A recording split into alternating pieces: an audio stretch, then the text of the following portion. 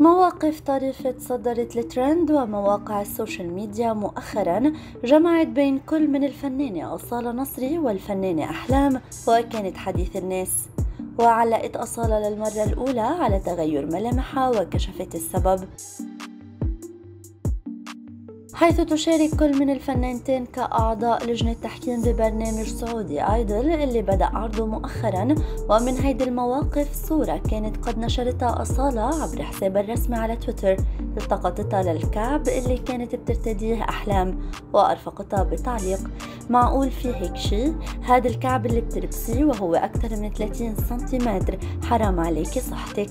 وتابعت بعتذر صورته من ذهولي عن جد. ما شفت هيك شي in my life.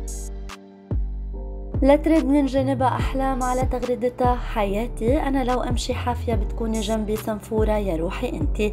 أنا 175 وأنت 70 هناك فرق وكويس قلتي لي ما بدك ألبس كعب عالي. هو بصراحة أريح لي خلاص. أصولتي بخليهم يقصرونهن واحد سنتي. ولو ما طلبت من عيوني يا روحي أنت.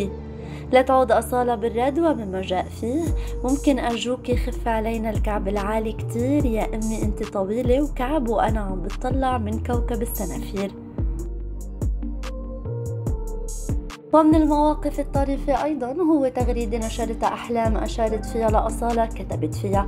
فممكن ناكل برجر أصولة بسرعة قولي صح صور الجريمة اللي عملناها أنا وإنتي ومسكين البرجر يبكي للحين افترسناه.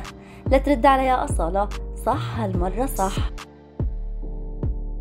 وما كانت هيدي المواقف هي الوحيدة اللي تصدرت مواقع التواصل الاجتماعي فكان لجمال أصالة وملامحها الجديدة أيضا الحصة الأكبر واللي علقت بدورها للمرة الأولى وعن هيدا الموضوع. ضمن لقاء أجري معها بالكواليس لبرنامج ام بي سي فقالت بدي اترك في مكتبتي وتاريخي حفلة وجهي فيها تعبان. وبدي اطلع بأحلى صورة مثل ما بشتغل على صوتي. وبدي لاخر يوم بحياتي شكلي يوازي روحي وأملي. وأودع الجمهور وعمري 25 سنة. وبعدين أحلل فلوس الناس اللي بيصرفوها علي من حقهم علي أكون بأحلى صورة.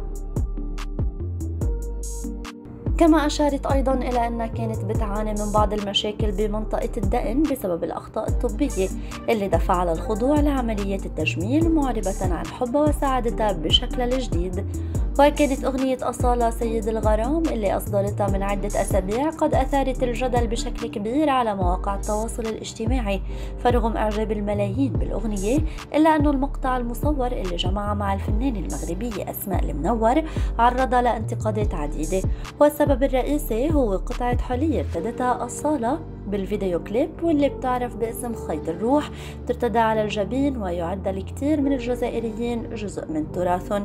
الأمر اللي عرض للانتقاد فاعتبر الجزائريين أنه ذلك محاولة للإيحاء أنه خيط الروح من التقاليد المغربية. وتويتر طبعا كان ساحة للجدال بين الآراء المختلفة حول الموضوع.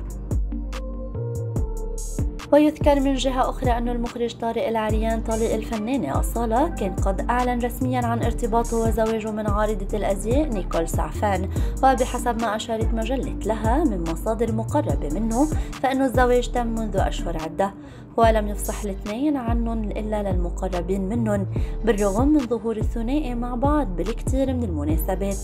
واتنقلت منصات السوشيال ميديا كتير من الصور والفيديوهات اللي بتجمع العريان بسعفان وتساءل رواد مواقع التواصل عما إذا كانت نيكول السبب بانفصاله عن أصالة وعن فارق السن بيناتهم خاصة وإنها بتبدو أصغر منه بكتير.